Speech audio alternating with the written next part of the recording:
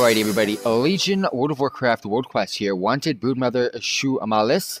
Uh, we're to go ahead and get order resources from this one for me. Not too sure about everybody else, but let's go ahead and uh, just fly on in there. And you know what? Let's see if I can scope her out from the top. And it doesn't look like I can. I'm to probably... Probably...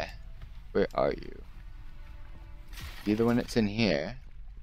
Flashtar Brood mother. She might not even be active right now. I know she's supposed to be in here somewhere. Not too sure where she is. Is that her? Nope, that's not the one. Where spawn? Where the brood mother at? Where is the brood mother? Where is the brood mother? Technically over there. Gonna go ahead and uh, Leroy once I've got no sticky ooze on me. Broodmother, where you at, fam? Alright, that's not gonna work.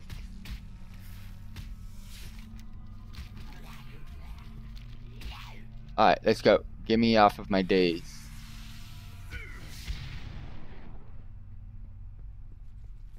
Found ya. That's what I thought. Because I was looking for it.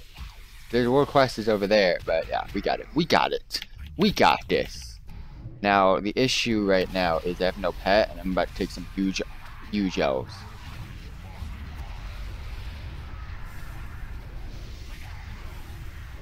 My pet not getting... At oh, he doesn't have Tauntaun. Doing some PV. PV freaking E. Jet sauce, man. Uh, get a little, get a little health stone, get a little soul stone, get a little thank you for the port stone, and pop it. I don't know why I had to Leroy. That's just that's just my style. Let's go ahead and stun. Make this easy. I made this a lot more difficult than it should have been. But hey, guess what? I'm Itachi. I do things my way. And usually my way is the bad way. It's the, the Leroy way.